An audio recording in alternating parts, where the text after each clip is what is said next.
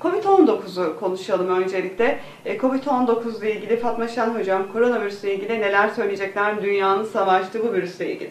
Ee, hepimizin bildiği üzere COVID-19 aslında bir virüs ailesi grubuna ait, koronavirüs ailesine ait bir e, patojen olarak karşımıza çıkmakta. Aslında koronavirüsler yeni keşfedilmiş değil. Ee, onlarca yıl önce hem insan hem de hayvan patojeni olarak karşımıza çıkan ve özellikle de hem çocukta hem erişkinde e, COVID-19'dan önce de üst solunum yolu enfeksiyonlarının önemli bir bölü üçü neredeyse yaklaşık sebep olarak karşımıza çıkan birçok alt tipi olan bir virüs ailesi. Ee, ve e, her sene grip gibi bunlar da her sene olmasa da belli dönemlerde e, yine mutasyonlara uğrayarak genetik yapısını değiştirerek yeni isimlerle karşımıza çıkmakta. Nitekim artık medyada e, çok fazla belirtilerek e, ya da çok yayınlandığı için e, ya da insanımız da çok okuduğu için biliyoruz ki MERS, SARS da aynı gruptandı. Covid-19'da koronavirüs dizizden gelen kısaltmayla korona ailesinin özellikle de 2019'un son ayında keşfedilmesi nedeniyle Covid-19 olarak e, salgını ya da hastalığı olarak karşımıza geldi.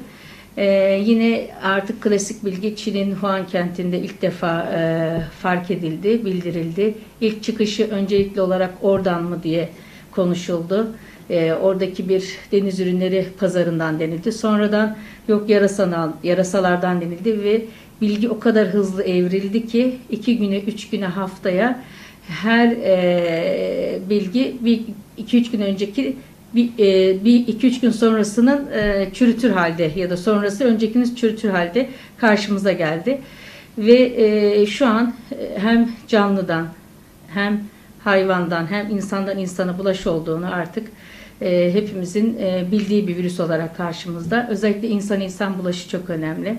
Damlacık yoluyla denildiği için işte Semptom olanlar çok önemliydi öncelikli olarak. işte öksüren aksıran fakat biz artık biliyoruz ki öksürük aksırık olmaksızın da konuşma yoluyla bile çıkan tükürükten bile virüsün e, taşıyıcılarda e, başka sağlıklılara e, bulaşma riski oluşturduğunu biliyoruz. Bu şekilde son 3-4 ayı tamamen dünya gündemine oturan e, önemli bir virüs olarak karşımıza çıktı. Tabii bu virüsün kimde olduğunu da bilmiyoruz hocam. Sizin de belirttiğiniz gibi hani bir belirtisi yok ki. Yani bizde de olabilir, sizde de olabilir, ortamda da olabilir. Evet. Şimdi az önce belirttiğim üzere öncelikli olarak damlacık yoluyla Evet. bulaştığı için işte öksürüp aksıranlar bulaştırıcı denildi. Yani semptomu olanlar fakat görüldü ki semptomu olmayanlar da bulaştırıcı olabiliyor. Onun için de dediğiniz gibi bazen hastalarımız çünkü işte koronavirüsü var mı yok mu? Yani semptom olan, ateşi olan, boğaz ağrısı olan, ishali olan, öksürüğü, nefes darlığı olan kişiler zaten potansiyel COVID olabileceği için onları ayırmak çok kolay oldu bu süreçte. Fakat e, bunu özellikle Sağlık Bakanımız başta olmak üzere e, bilim kurulu olsun, bu konuda e, ehil, enfeksiyon hastalıkları uzmanları olsun ya da Siz göğüs hastalıklarımız bizler olsun e, sık sık vurguladığımız üzere ya da yayınların bize getirdiği e, datalar, verilere dayanarak onları gördük ki e, özellikle yani şikayet olmayan kişilerin de potansiyel bulaştırıcı olmasından dolayı şikayet olmayandan daha çok korkun dedik. Onun için de maksimum tedbir herkes birbirine potansiyel taşıyıcıymış gibi şikayet olmasa bile bu şekilde davranılması gerektiğini vurguladık. Hastalarımıza bunu vurguladık, yakınlarına bunu vurguladık. Onun için de e, mümkün olduğunca poliklinik önlerinde e, hasta yakınların oturmamasını istedik. Hastalarımızın oturmamasını istedik ve e, sosyal mesafelere dikkat edilmesi gerektiğini söyledik. Yine bulaş konusunda mesafe konusu da çok tartışmalı oldu. Önceden de bir metre yeter, sonra bir buçuk metre e, bile yetmez. 2 metre olmalı, 3 metreye kadar gitti. Onun için mümkün olduğunca sosyal ortamda olmamak en tedbirli olanı diye gerekli tedbirlerle bugünümüze kadar gelmiş olduk. Ve e, şu da var hocam, tabii e, Avrasya Hastanesi'ndeyiz. E, Siz de yıllardır Avrasya Hastanesi'nde görev yapıyorsunuz. E, kemoterapi bölümüne girmek yasak sadece hastalarınız giriyor. Hasta yakınlarımızı dışarıda dahi bekletmiyorsunuz. Evet. Özellikle e, hastalarımızın e, aktif kontrolleri olanlar, yani aktif derken 3 aylık, 6 aylık, senelik kontrol olup şikayeti olmayanları otomatik erteledik 3 ay gibi.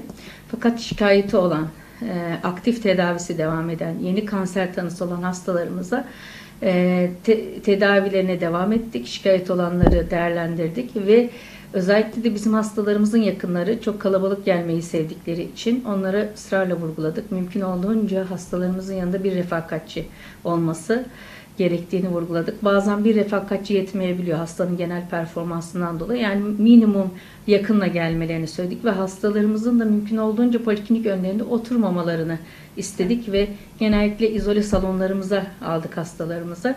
Yakınlarına da mümkünse poliklinik önünde oturmayın.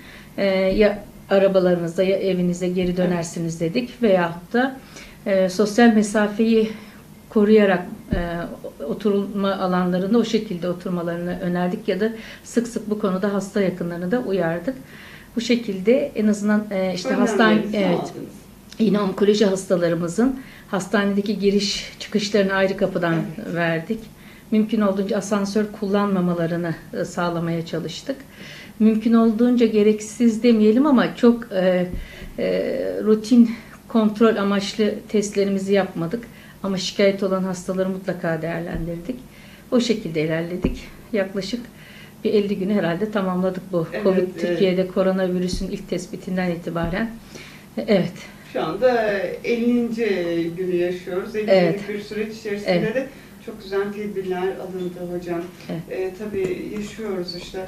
Ee, ve hastalarımız da hastaneleri çok da fazla öyle meşgul etmediler. Bir şikayetleri olduğu zaman mı geldiler? Genelde bu konuda basın yayın çok güzel e, bilgilendirmeleri oldu. Bu nedenle de pek çok hasta yakına dikkat etti. Bu, bu konuda şunu söylemem gerekir ki bizim hastalarımız bu sürece çok daha hızlı uyum sağladılar. Evet. Çünkü bu mesele olmadan da yani koronavirüs salgını çıkmadan önce de özellikle aktif tedavi alan hastalarımızda biz e, biraz daha e, sosyal izolasyon demiyoruz. Tabii ki dışarıda gezmeleri vesaireleri, yürüyüşlerini hep e, yüreklendiriyorduk. Fakat e, hijyen konusu olsun, e, işte yakın e, sosyal ilişkiler olsun. Onları zaten bir miktar kısıtladığımız için hani tokalaşmalar, sarılmalar, öpmeler onların uyumu çok daha kolay oldu. Ya da dışarıdan alınan sebze meyvenin temizliği olsun e, ya da kendi evdeki kıyafet hijyeni olsun, vücut hijyeni olsun. Ben e, gözlem olarak ve hekim olarak da aynı zamanda bizim hastalarımızın %90 çok hızlı uyum sağladığını gördüm. E, zaten yaptıkları şeye ek olarak ne oldu? Dışarı çok fazla belki çıkamadılar. E, bir de sevdikleriyle sosyal mesafe ortamı bile olsa çok sık o şekilde görüşmemelerini talep ettiğimiz için onları yapmadılar. Bu nedenle de hastaların çoğuna çok teşekkür ediyorum. E, Bizi çok yormadılar bu konuda. Hasta yakınlarına çok teşekkür ediyorum. Çünkü Evet. onlar da gerçekten ciddi anlamda titizlendiler. Ancak burada şöyle oldu. Hani aktif tedavi alan bazı hastalarımız vardı. Bazılarında hiçbir şekilde tedavinin e, sıklığı değişmemesi gerekiyordu. Onlara devam ettik. Bazılarında seyrelttik. Bazılarında bir iki ay öteledik. Fakat bazı hastalarımız ya da yakınları o kadar e, titi nasıl diyeyim e, biraz televizyonun vesairenin de etkisiyle Hassas çok korktular ya da aşırı hassas davranarak belki hani bu da 100 hastada bir iki tane oldu diyebilirim. E, gelmeleri gereken tedavilere gelmediler. Şimdi iki haftadır e, yeni hasta ziyaretlerinde gördüğüm e, konuda şu oldu bu konuda. Zaten bizim çekincelerimiz de buydu. Örnek işte A hastanesinde hocam işte bana tanı konuldu ama Covid var git denildi. Bu ara süreçte benim hastam kötüleşti e, gibi ya da e, işte kemoterapi alıyordum. Covid var alma dediler. Şimdi ama ben bu kadar hastalığımın ciddi olduğunu bilmiyordum. E, Şimdi hastalığım kötüleşti. Covid'den daha önemli olduğunu bilmiyordum gibi. Yani bu süreç hekimlerle hastalar arasında e, bu şekilde bir süreci doğurdu. E, Bu nedenle de 50 gün çok uzun bir süre değildi. Bundan sonra da mecburen çünkü onkoloji hastasında düzenli takip çok önemlidir. Yavaş yavaş e, sosyal mesafeleri ayarlayarak, gerekli tedbirleri alarak kontrollerimize devam etmek durumunda kalacağız. Çünkü e, dediğim gibi arada uzayan süreler e, yeni bir hadise geliştiğinde hocam benim hastalığım daha e, önemliydi. Niye bunu e, işte belirtmediniz? Covid olsa da gelirdim gibi bu tarz meseleler de karşımıza çıkacağı bir gerçek. Bu nedenle şikayet olan zaten mutlaka gelmeli. Zaten aktif tedavi almadığında hastalığın kötüleş, kötüle- kötüleşeceğini bileceğimiz ya da aktif tedavisini düzgün almadığında ileride hızlı geri gelme ihtimali olan tüm hastalarımızın tedavilerin aksamamasını sağladık neredeyse. Ee, onlara devam. Ama dediğim gibi artık yavaş yavaş kontrollere de mecburen devam etmek zorunda kalacağız.